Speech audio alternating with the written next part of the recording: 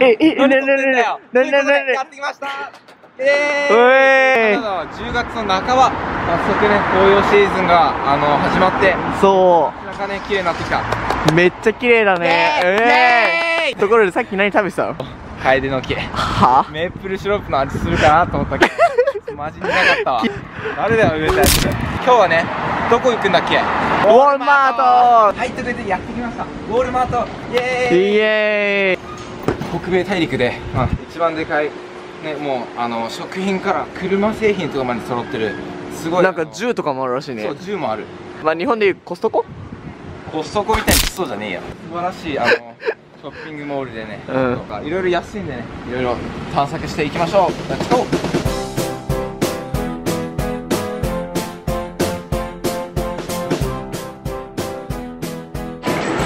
えやばくないですかコーラとかドクターペッパーとか。見て缶24本。24本で。500円ぐらい。やばくない24本500円って1本いくら？多分3円。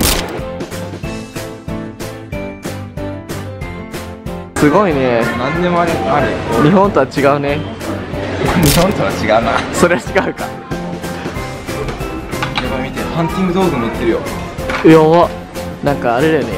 匂いもさめっちゃいい香りだねそう。ね普通にあれじゃない？洗剤のとこ歩いてるんじゃない？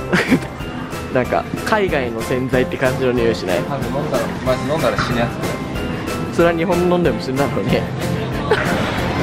来ましたお菓子。ステーションあーお菓子はうまいわ。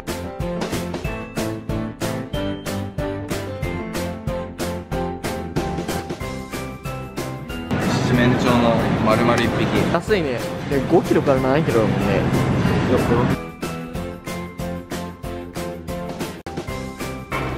型のテレビやば。2万ちょい2万2000円とか。しかもこれシャープじゃん。そうやばくない？海外の、えっと100円ストア100均。なんかダイダイソーみたいな感じで。聞いてねえ名前何？瞑想 サングラスじゃん。パイロットとしてどうですか？そのこのサングラス。値段書いてない時点ダメだね。パイロットのみんなはね普段こんなサングラスをしてるので絶対違う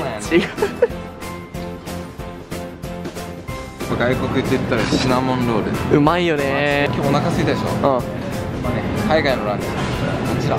丸焼きチキン。へえ最高。700円ぐらい。1個700円。安ということで買いました。今日の昼ご飯。チキンが8ドルとシナモンロール。